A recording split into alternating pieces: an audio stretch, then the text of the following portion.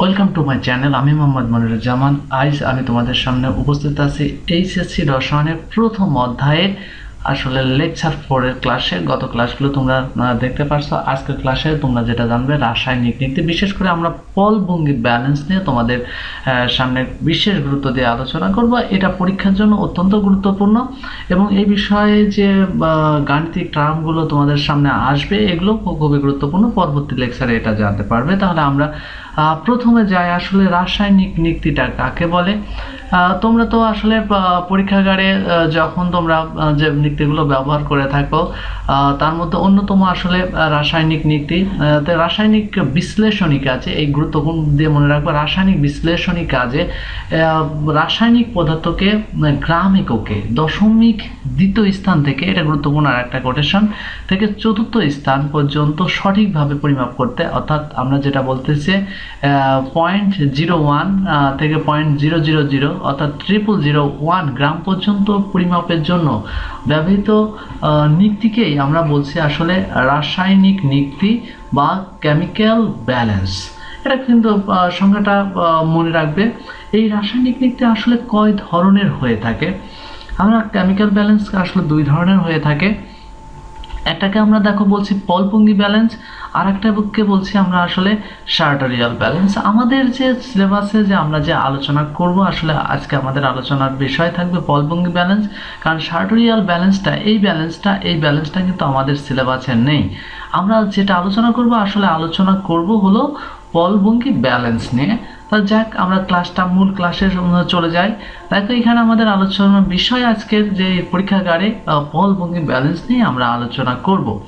এই পলভঙ্গি ব্যালেন্স যদি আলোচনা করতে যাই, আসলে যে পলভঙ্গি ব্যালেন্সের সংজ্ঞাটা আমাদের আগে জানতে হবে। আসলে পলভঙ্গি ব্যালেন্সটা কি? দেখো, এদের যে ব্যালেন্সটা তুমি দেখতে পাচ্ছ চিত্রে, এই যে যে চিত্রে, এই যে চিত্রটা দেখতে পাচ্ছ, এই চিত্রের এই ব্যালেন্সটাকে আসলে আমরা বলছি পলভঙ্গি ব্যালেন্স সংজ্ঞাটা আসলে আমাদের খুবই জানা গুরুত্বপূর্ণ, তাহলে আসলে পলভঙ্গি ব্যালেন্সটা কাকে বলে?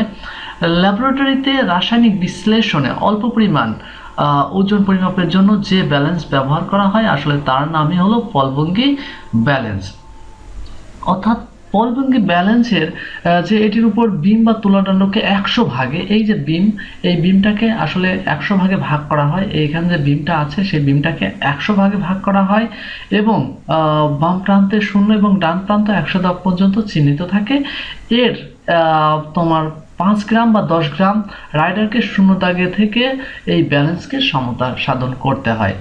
কিন্তু এখানে আমরা যে বিশেষ করে আমাদের যেটা সিলেবাসে নেই সার্টোরিয়াল ব্যালেন্সের এর শূন্য দাগ মাঝখানে থাকে, বাম প্রান্তে এবং ডান প্রান্তে পঞ্চাশ পর্যন্ত দাগান্বিত থাকে। আমরা যে আলোচনার বিষয় যাব, এই পলভঙ্গি ব্যালেন্সটা নিয়ে আমরা ব্যাপকভাবে এখানে আলোচনা করব। তাহলে এই পলভঙ্গি ব্যালেন্সের দেখো আসলে কয়টা অংশ থাকে? এর গঠনটা যদি আমরা আলোচনা করতে যাই প্রথম যেটা আমরা বলছি দেখো যে এর চারটি অংশ থাকে। এই যে চারটি অংশ, গুরুত্বপূর্ণ কথা যে চারটি অংশ থাকে। এর বেদিসজ্জিত ব্যালেন্সের কক্ষ তোমরা দেখতে পাচ্ছ যে এই যে বেদির উপরে পুরো ব্যালেন্স কক্ষটা এইভাবে যে আমরা দেখতে পাচ্ছি, এইটা কিন্তু আসলে বেদিসজ্জিত ব্যালেন্সের কক্ষ। এবং আমাদের দ্বিতীয় অংশটা আছে স্তম্ভ বা কলাম। এই যে এই যে অংশটা আমরা দেখতে পাচ্ছি, এই যে, এই অংশটাকে আমরা স্তম্ভ বা কলাম বলছি। এবং যে আরেকটা আছে তুলাদণ্ড বা বিম এই যে তুলাদণ্ড, এইখানে যে তুলাদণ্ড, আসলে দাড়িপাল্লার আমরা যেটা পাল্লা বলে এই বলে থাকি, শলাকা বলে থাকি, আসলে সেটাই হলো তুলাদণ্ড। আর এইটা যেটা দেখতে পাচ্ছ, এইটা আসলে একটা দুই পাশে দুইটা এরকম পাল্লা থাকে। এরপরের অংশ যেটা আছে, সেটাকে আমরা বলছি রাইডার। ঠিক এই উপরের দিকে, উপরের উপরের প্রান্তে এখানে রাইডার থাকে, এখানে শূন্য থাকে এবং রাইডার বাহক থাকে। আমরা এবার প্রথম অংশটা আমরা যাব। দেখো, তোমাদের সামনে আজকে আলোচনা করব যে বেদি সজ্জিত কক্ষ, এইটার একটু বর্ণনা যাব। এইটা তোমরা দেখতে পাচ্ছ, এইটা একটা বেদি। এই যে পুরো যার উপরে তোমার এটা বেদি সজ্জিত কক্ষ, এটা এই বেদি সজ্জিত পুরোটা একটা কক্ষ, বেদি সজ্জিত কক্ষ। তাহলে আমরা এখানে দেখো, যে কথাগুলো বলছি যে রাসায়নিক দিক দিয়ে বেদি দেখতে অনেকটা আয়তাকার। এই যে আয়তাকার, এই যে যেটা বলছি আমরা, এই যে বেদিটা, এটা একটা আয়তাকার। এখান থেকে এখানে দেখো, এটা একটা আয়তাকার আয়তাকার অংশ। এবং ঠিক বিশেষ পাথর দিয়ে তৈরি যা খারাপভাবে তার উপর নিক্তিটা বসানো থাকে এবং বেদির নিচে এই যে বেদির নিচে, এখানে দেখো ডান এবং বামের দুটি পিছনে এবং পিছনের ঠিক মাঝখানে। এর মাঝখানে এই যে এখানে আমরা দেখানো যাচ্ছে না, এর নিচের দিক, পিছনের দিকে ঠিক মাঝখানে মোট তিনটা লেভেলিং স্ক্রু বা সমতলী স্ক্রু থাকে। এই স্ক্রুর কিন্তু বিশেষ কাজ থাকে, যে স্ক্রুগুলোর এগুলোর কিন্তু বিশেষ কাজ থাকে। দেখো সামনে লেভেলিং স্ক্রু দুটোকে ডানে বা বামে ঘুরিয়ে দিয়ে বেদিকে লেভেলিং করা যায়। যখন সামনে থাকা এই যে স্প্রিট লেভেলিং ভেতরে বুদবুদ, মাঝখানে থাকা অথবা দোলকের যে দোলকের যে সূচালো মুখ বা স্তম্ভের সাথে যুক্ত সূচালো মুখ বরাবর থাকে এবং বেদির ডান দিকের পাল্লা উঠানো বা নামানোর জন্য একটি হ্যান্ডেল থাকে। এই হ্যান্ডেলের সাহায্যে ব্যালেন্সটিকে আসলে সচল বা বন্ধ করা হয়। এরপরে যে অংশটা আমাদের আছে, সেটাকে বলছে পলমঙ্গি ব্যালেন্সের স্তম্ভ। স্তম্ভটা তোমরা এখানে চিহ্নিত করা আছে। আসলে স্তম্ভ দ্বারা তোমরা এখানে দেখতে পাচ্ছ, এটা একটা স্তম্ভ। তাহলে বলছি স্তম্ভ বা কলস, এটা হলো ফাঁপা নল। এই যে এই যে নলটা, এই নলটা কিন্তু একটা ফাঁপা নল। এই যে ফাঁপা নল, এবং বেদির মাঝখানে খারাপভাবে এটা। এই যে বেদি, এখানে যদি বেদি হয়, এটার মাঝখানে এটা খারাপভাবে এটা যুক্ত আছে। এবং এই খাড়া স্তম্ভের ভিতরে একটি ধাতব দণ্ড আছে। এর ভিতরে এর ভিতরে কিন্তু একটা ধাতব দণ্ড থাকে। ধাতব দণ্ডের নিচের প্রান্তে একটা হ্যান্ডেল থাকে। এইখানে একটা হ্যান্ডেল থাকে। হ্যান্ডেল যুক্ত থাকে। অপর প্রান্তের সাথে অ্যাগেট এই যে এইখানে একটা অ্যাগেট যুক্ত থাকে। এবং তুমি এইখানে দেখো যে এই হ্যান্ডেলের সাহায্যে তুলাদণ্ড কী উঠান করা যায়? অর্থাৎ তুমি যখন এইখানে চাপ দাও বা ঘোরাও, তখন এটা বন্ধ বা সচল হয়। এবং এই যে স্তম্ভ বা কলমের দুই দিকে দুটি আনুভূমিক দণ্ড থাকে, আনুভূমিক দণ্ড থাকে। এই দুই প্রান্তে দুটি ধারক থাকে। ব্যালেন্সটি স্থির অবস্থায় এই ধারক দুটির উপর তুলাদণ্ডটি মূলত অবস্থান করে। দ্বিতীয় কথা, তৃতীয় যেটা আমরা বলছি, তুলাদণ্ডের বিম বা পাল্লা, এটাও একটা গুরুত্বপূর্ণ অংশ। আসলে দেখো, এখানে আমরা যেটা বলছি যে এটা যদি তুলাদণ্ডর হয়, তাহলে এইটাকে আমরা বলছি যে এইটা আমরা বলছি তার বিম এটাকে আমরা বলছি বিম এবং এইটা আমরা তার পাল্লা বলছি। দুই পাশে দুইটা পাল্লা আছে। এখন আমাদের এইখানে যে আসলে এটা প্রধান নীতির প্রধান অংশ, এই বিম বা তুলাদণ্ডটি অ্যালুমিনিয়াম বা পিতলের তৈরি হয়ে থাকে। এই বিম এই যে যেটা আমরা তুলাদণ্ড বলতে থাকি, এই বিম বা, এটা বিশেষ করে তৈরি এবং তুলাদণ্ডের দুই পাশে দেখছ যে দুটি করে মোট দুই বিন্দুতে, যে কেন্দ্রীয় বিন্দুতে একটি এবং মোট তিনটি, দুই পাশে দুটি, মোট তিনটি অ্যাগেট পাথরের প্রিজম আকৃতির ছুরির ফলক যুক্ত থাকে। এই, এইখানে এই পাশে একটা, এই পাশে একটা এবং মাঝখানে যুক্ত থাকে। এবং কেন্দ্রীয় ছুরি ফলকটি স্তম্ভের ভিতরে থাকা ধাতব দ্বন্দ্বটিকে একের সমতলের উপর অবস্থান করে, এইখানে একের সমতলের উপর অবস্থান করে এবং একের পাথরের সমতলের উপরে পাথরের ছুরি ফলক মুক্তভাবে দুলতে থাকে। এবং তুলাদণ্ডের যে তুলাদণ্ডের দুই প্রান্তের দুটি স্ক্রু সংযুক্ত থাকে, প্রয়োজন মতো এই স্ক্রুকে ঘুরিয়ে, এই যে এখানে এইখানে একটা স্ক্রু আছে এবং এইখানে একটা স্ক্রু ঘুরে আছে, ঘুরিয়ে তুলাদণ্ডের পয়েন্টারের সাথে তোমার স্তম্ভের নিচে যে যুক্ত মূল স্কেলের শূন্য দাগে এটা রাখা হয়।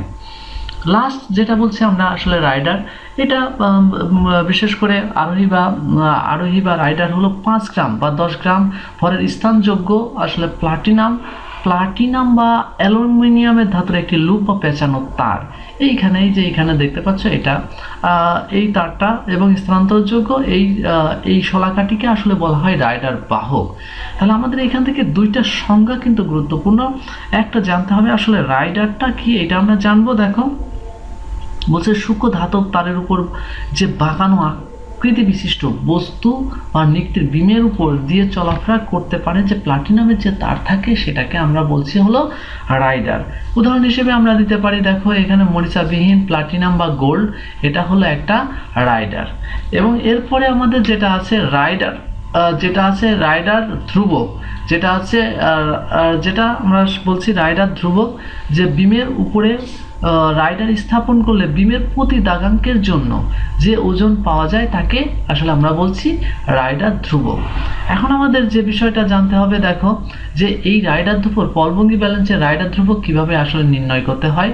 যদি পাঁচ গ্রাম রাইডার ব্যবহার করা হয়, তখন রাইডার ধ্রুবক হয়, অর্থাৎ রাইডার ধ্রুবককে আমরা দুই দিয়ে গুণ করে যদি একশো দ্বারা ভাগ করি, তাহলে এখানে আমরা পাই হলো যে, যেটা আমরা পাঁচ মিলিগ্রাম ব্যবহার করছি, তাহলে এখানে পাবো পয়েন্ট জিরো ওয়ান মিলিগ্রাম এটা গ্রামে পরিণত করলে পয়েন্ট যে ট্রিপল জিরো ওয়ান অর্থাৎ zero zero zero one gram আমরা রাইডার ধ্রুবক পাবো। এবং এখানে যদি দেখো, দশ গ্রাম ও ওজনের দশ মিলিগ্রাম ওজনের যদি আমরা ব্যবহার করে থাকি, তাহলে সেই ক্ষেত্রে আমরা রাইডার ব্যবহার করলে সেই ক্ষেত্রে আমরা যেটা পাবো যেটা পাবো, এখানে দুই দিয়ে গুণ করলে, তাকে ভাগ করে দুই মিলিগ্রাম এবং তাকে যদি আমরা আবার কত দিয়ে ভাগ করি? দেখো, যে সেটা যদি গ্রামে পরিণত করি, এক হাজার দিয়ে ভাগ করলে সেটা পাবো point zero zero zero two gram আমরা এটা রাইডার ধ্রুবক পাবো। এটা আমাদের সিলেবাসে এবং এটা খুবই গুরুত্বপূর্ণ। এই দুইটা জিনিস কিন্তু আমাদের মনে রাখতে হবে। এই বিষয়ে যে গণিত আছে বা অঙ্ক আছে, এই অঙ্কগুলো কিন্তু এটা দিয়ে করতে হবে, যা এমসিকিউতে খুবই গুরুত্বপূর্ণ। এরপরে দেখো সার্টোরিয়াল ব্যালেন্সে আমাদের বিশেষ করে মাঝখানে যার শূন্য দাগ থাকে, দুই পাশে বামে বা ডানে পঞ্চাশ দাগ পর্যন্ত দাগান্বিত থাকে। এই ব্যালেন্সের ক্ষেত্রে রাইডার ধ্রুবকে শুধু পঞ্চাশ দিয়ে ওই মিলিগ্রামকে শুধু পঞ্চাশ দিয়ে ভাগ করতে হবে, ভাগ করলে যেটা পাওয়া যাবে সেটা হবে আসলে রাইডার ধ্রুবক এবং এটি একই রকম ওকে পঞ্চাশ দিয়ে ভাগ করার পরে তাকে আমরা গ্রামেও পরিণত করছি। আমাদের যেটা গুরুত্বপূর্ণ, দেখো, পলভঙ্গির ব্যালেন্সটা যে আমরা ব্যালেন্সটা পরিস্থিতি জানলাম, এই ব্যালেন্সটা আসলে ব্যবহার বিধি। তোমরা ল্যাবরেটরিতে এই ব্যালেন্সটা কীভাবে ব্যবহার করবে? এই ব্যবহার করতে গেলে তোমাদের প্রথম, দেখো, এই যে নীতিটাকে তুমি ভূমির সমান্তরালে আছে কিনা বা তা স্পিড লেভেল বা দোলক দেখে জেনে নিতে হবে। যদি ভূমির সমান্তরালে না থাকে, তখন স্পিড লেভেলের ভেতরের বুদবুদ মাঝখানে থাকবে না বা দোলকের সুচালো মুখ, এই যে সুচালো মুখটা আছে, এই সুচালো মুখ বা স্তম্ভের সাথে যুক্ত সুচালো মুখ বরাবর তখন থাকে না। তখন আমাদের দেখো, তখন এই নিক্তিকে ভূমির সমান্তরাল করার প্রয়োজন হয়, তখন এই বেদির সাথে যুক্ত অ্যাডজাস্টিং স্ক্রু এই যে এই যে যে অ্যাডজাস্টিং স্ক্রুগুলো আছে, এইখানে যে অ্যাডজাস্টিং স্ক্রু ভিতরের দিকে অ্যাডজাস্টিং স্ক্রু আছে ঘুরিয়ে স্পিড লেভেল দেখে ব্যালেন্স বেদির সমান্তরালে, অর্থাৎ ভূমির সমান্তরালে করতে হয়। প্রথমে এই নিয়মটা তোমাকে মানতে হবে। দ্বিতীয় কথা বলছে, দেখো এখানে। দ্বিতীয়ত কাঁচের বক্সের সামনে যে এই যে কাঁচের বক্সটা আছে, এই সামনে গ্লাসটা উপরের দিকে তোলা হয় এবং তোলার পরে ব্যক্তিটিকে স্থির অবস্থায় পার্লার কি আছে কি না এগুলো দেখে নিতে হবে। যে দুটি পাল্লা দুটি পরিষ্কার থাকলে নিকটির হ্যান্ডেলের মাঝখানে কাঁটাটি মূল স্কেলের পয়েন্টারের শূন্য দাগের উভয় দিকে সমান সংখ্যক দাগ অতিক্রম করলে করে দোলে কিনা, অথবা যে বিশেষ করে এভাবে এদিকে বাম প্রান্তে, ডান প্রান্তে দোলে কিনা, অথবা ব্যালেন্সটি স্থির হলে পয়েন্টারের স্কেলের শূন্য দাগে স্থির আছে কিনা, এটা দেখে নিতে হবে। যদি শূন্য দাগের পয়েন্টার স্থির হয়, তবে নিক্তিটা সমতা আছে বলে আমরা ধরে নেই। তৃতীয়ত দেখো আমরা যেটা ব্যবহার করছি, যে এই তৃতীয়ত বিশেষ করে ওজন বক্স থেকে পাঁচ মিলিগ্রাম বা দশ মিলিগ্রামের যেটা আমরা রাইডার থাকে, এটা চিমটার সাহায্যে নিয়ে স্থির অবস্থায় থাকা নিকটি যে বিশেষ করে তুলাদণ্ডের শূন্য দাগের উপর রাখতে হবে এবং হ্যান্ডেল ঘুরিয়ে নিকটিকে সচল করতে হবে। যে এবার নিকটি তুলাদণ্ডের প্রান্তের স্ক্রু ঘুরিয়ে যদি পয়েন্টের শূন্য দাগে আনতে হয়, তবে এই অবস্থায় পলভঙ্গি ব্যালেন্সটি ওজন নেওয়ার জন্য প্রস্তুত হয়েছে বলে তুমি মনে করতে পারো। এবং এইভাবে তুমি ফলবন্দি ব্যালেন্সটা ব্যবহার করতে পারবে এবং তোমাদেরকে আবারও বলছি, তোমরা যদি এই ক্লাসটা বেশি বেশি শেয়ার করো এবং যদি এ বিষয়ে আরও বেশি কিছু জানতে হয়, তাহলে তোমরা ভিজিট করো W W dot Agantuk academy dot com সবাইকে ধন্যবাদ।